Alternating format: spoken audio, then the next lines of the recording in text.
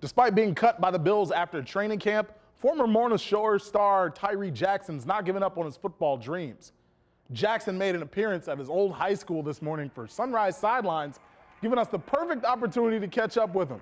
Jackson says he has continued to work out in hopes of another NFL team giving him a shot. According to reports, there's also a chance he goes to the new XFL. Regardless of what's next, Jackson says he looks back at his short time in the NFL this summer with positive memories. Uh, it was it was awesome. You know, getting the chance to play. Um, you know, it was a great experience and something that you know I'll remember for a while.